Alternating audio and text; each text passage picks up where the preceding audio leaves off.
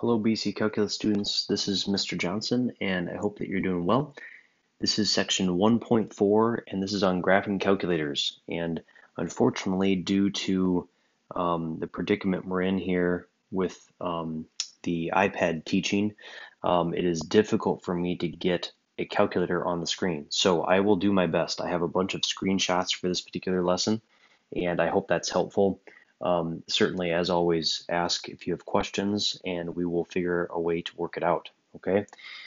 With the first two examples, what I'm going to do is I'm actually going to do a little bit of this by hand because I, I really want you to have um, the skills necessary and and the intuition to figure out a screen or a window that makes a lot of sense for a particular graph. Um, one of the one of the biggest things that we can struggle with um, as math students is that we can take a look at a problem and we can get sort of caught in the world of looking at the calculator and saying, well, the calculator says it's not true, or the calculator looks like this, or the whatever, and we kind of forget about the intuition of the problem. And, and if we really thought about it, it wouldn't make any sense what we just got. Um, so I want you to make sure to think logically as you work through these problems. And I'm going to try to demonstrate that with um, these first two examples and then I will also show you how misleading the calculator can be in a couple of other examples. So for this first example, we have this equation and we're looking at the window from negative 2 to 2. Um, and so right away, we know that for x, um, the, the window that makes obviously sense is negative 2 um, to 2. Now the question is, uh, where is the graph going to maybe be located on that window? You probably could use some intuition and get there, but I'm just going to show you algebraically what might help. So we know that 8 minus 2x squared must be greater than or equal to 0. We, we know that because the square root function cannot operate on a negative value. So let's do this. Let's figure out what would make this particular um, this particular expression equal to 0. So we have 2, um, 2x equal to 8 which means x, I'm sorry, 2x squared equal to 8 means x squared is equal to 4, and so we know that x is positive negative 2. That might be kind of one of the reasons why the window is negative 2 to 2. But anyway, if we were to look at this on a number line, and we have negative 2 and 2, we want to know on these three possible intervals, so we have some, you know, some large negative number all the way to negative 2, in between negative 2 and 2, and then from 2 on, we want to know what is the sign of each of those intervals. And it's very easy to test this because what we can do is we can plug in something, let's say we want to plug in 0. And if we plug in 0 for 8 minus 2x squared, we get 8, which is a positive number. So anything that is in between negative 2 and 2 is going to be positive. We could test another one if you want to plug in 1 you get 8 minus 2, which is 6. And so anything on that particular interval is going to be positive. Now let's go ahead and plug in, I don't know, like negative 3.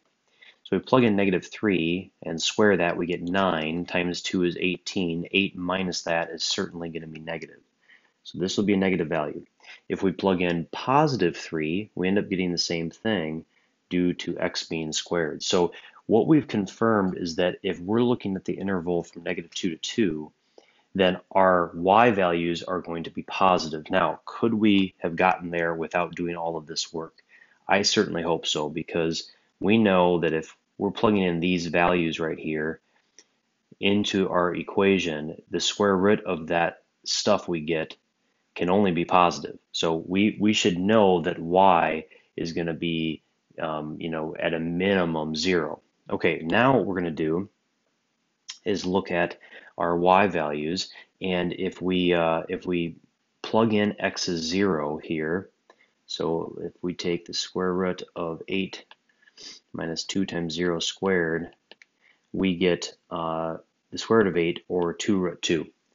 And so at the um, on the y-axis that is, we're going to have this y-intercept. I'm going to start to sketch this a little bit here. So let's say that this is my y-intercept roughly at 2 root 2. And we have, I don't know, let's say that this is negative 2. And that would put me over here at 2. And so what we have in terms of a graph is something that kind of looks parabolic here. and it kind of goes like that. So that's that's sort of a sketch of our graph.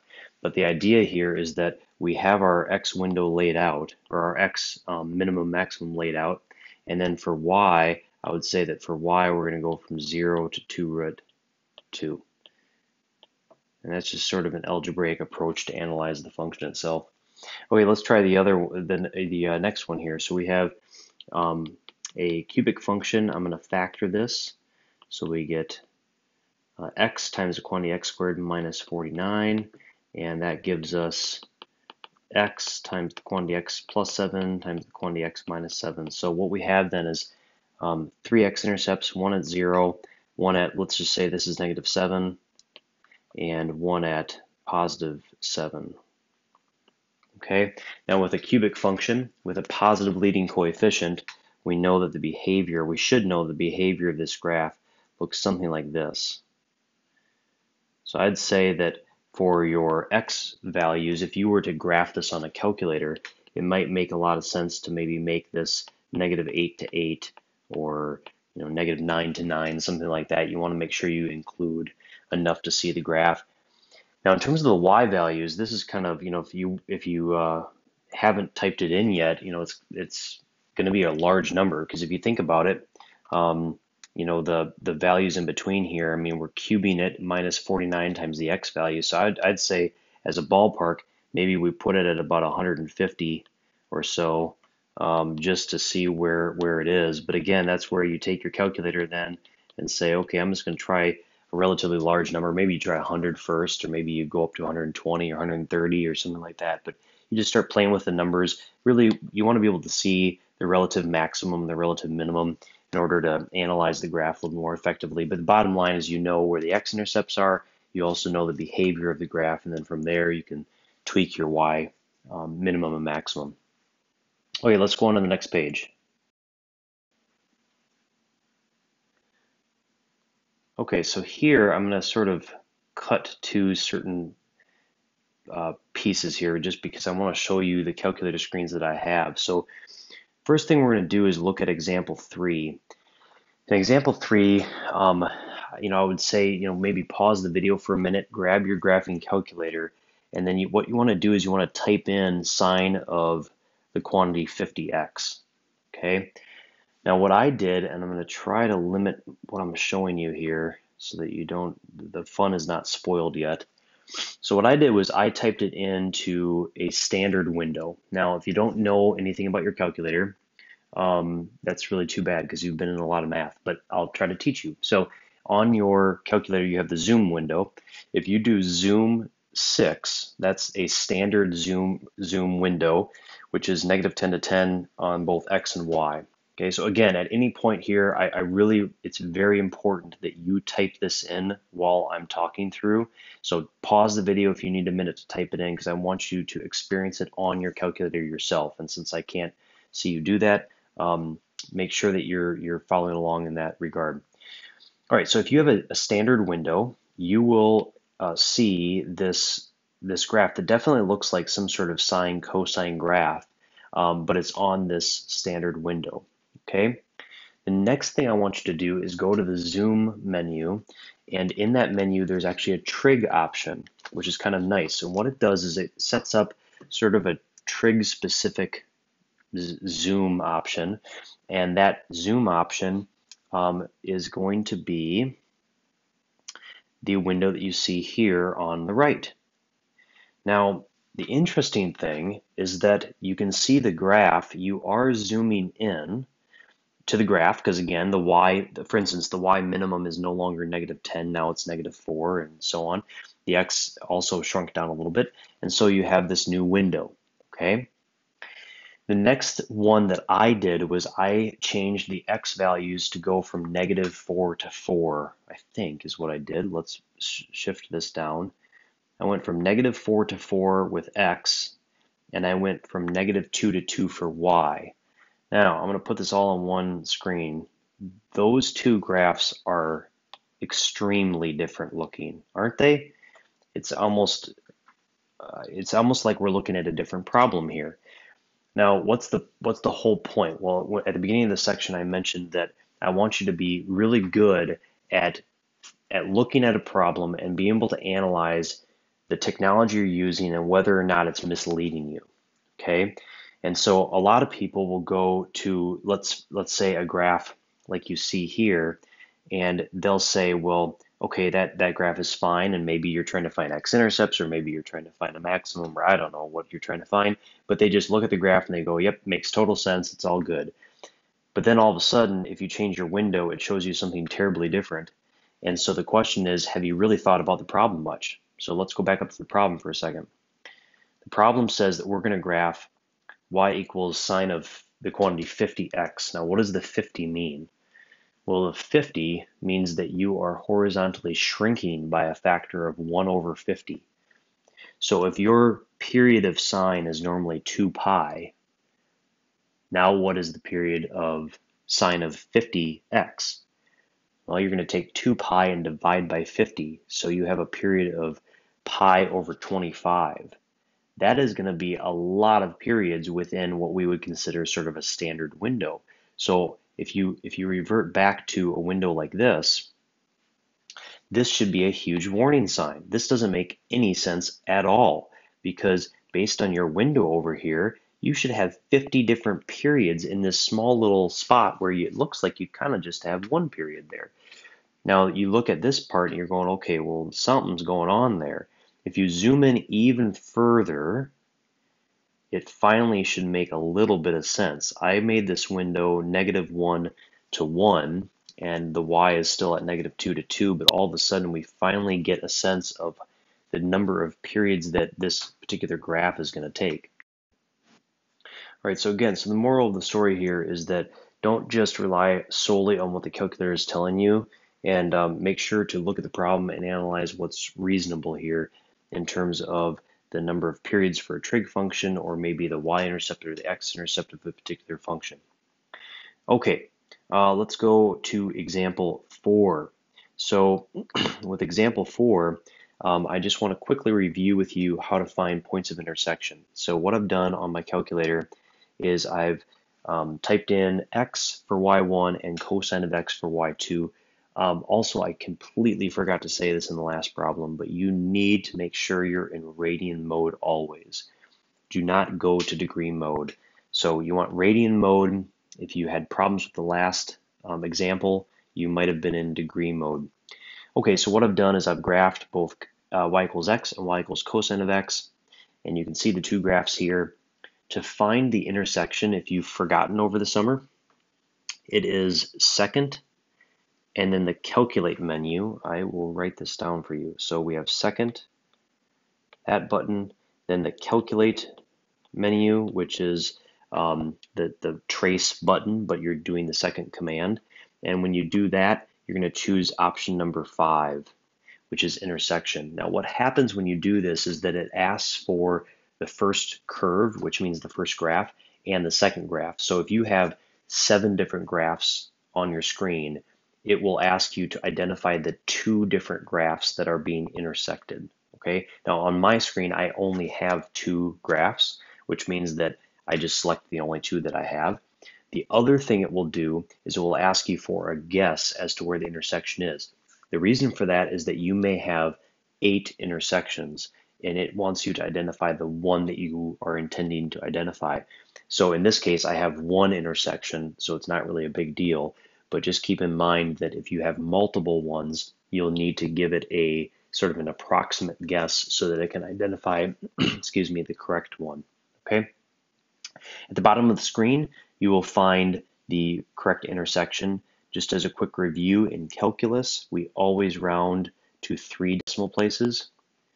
And so if you were to answer this question, you would say that that is going to be our point of intersection in this case. Okay, last but not least, we have an AP problem. We get a little bit of calculus in here. Now the entire, and I'm sort of cutting, so this is example five. I just don't want to, I don't want to show you the screen first. Okay, so hold on. So in example five, this is back in 2007 on the AB exam. It's a calculator problem. The scores were pretty poor on this particular problem, and I think I know why, but um, I want to walk you through it first. So we have our a region, the first and second quadrants, bounded by y equals 20 divided by the quantity 1 plus x squared, and then below by the horizontal line y equals 2. So what I did was I went to my calculator, because it's a calculator problems, that's what I would do immediately, and typed it in. Now I used a standard window, which again, if you remember, is zoom 6, and the standard window goes from negative 10 to 10, both x and y. And this is what I got. Now, um, I didn't type in y equals 2, um, just because I, I, am not too concerned about that. I know exactly where that is. It's here. Um, and so my my guess here is that students said, you know what, um, there's a there's an issue because this graph is not bounded above. And my guess is that students got confused and they were trying to figure out how can I find the area of an unbounded region. Um, and believe it or not, in, in our class this year, BC Calculus, we'll actually explore this idea, but in AB Calculus, you don't get into this kind of concept. And so my thought is that students got confused, maybe skipped it or whatever, and that's why maybe the scores were so low. Now, what's the problem and what's the whole purpose of this particular section that we're studying? The purpose is that we need to use some common sense and not just rely on what we see on the calculator. Because what we see on the calculator is that it doesn't appear as though this graph has a has a top boundary to it. It appears as though it just keeps on going forever. However, if you were to take a look at the equation right here, okay, we're wondering is there a is there a maximum for y?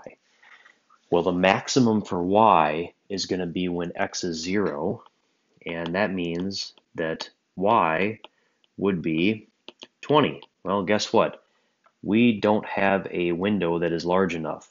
So all we need to do, and it seems so simple, but all we need to do is just change our window if we change our window, it's very easy to see now that if we just put on our lower boundary of y equals 2, we have a bounded region right here. Okay, so again, it's just really important that we don't uh, rely solely on the calculator. We also rely on our minds as well. Okay, let's let's do the problem just because uh, it'll be kind of fun to do a little bit of calculus. So first off, we have y equals 20 divided by 1 plus x squared and y equals 2. Uh, that means that if we were to figure out the point of intersection, which yes, you can do on the calculator, but let's use algebra, we have, whoops, we have, uh, let's see, 1 plus x squared equal to 10. That means x squared is equal to 9. That means we have points of intersection of negative 3 and 3. Now, if you remember back to chapter 6 in AB Calculus, we did areas of bounded regions by integration. And we used the left boundary and the right boundary of the intersection. We calculated the area by doing the upper function subtracted by the lower function. And we simply just typed that into our calculator. Couple things to review on that. Number one, to do a definite integral, you press math 9. So math 9 to do a definite integral. Second thing is that if you're interested in doing a fraction on your calculator, some of you know this, I'm sure. Others of you, I'm guessing, don't. You can do a fraction on the new, you know, the 84, which most of you have. If you press alpha F1, which is alpha and the y equals button, and press enter, you can actually get a fraction. And that means that you can type something like this in without messing up that denominator, if that makes some sense. So anyway, utilize that little trick if you want. But what I get here is um, is 37.962 if I round that third one, and that's going to be the area of that particular region. All right, that's it for section 1.4. Thank you.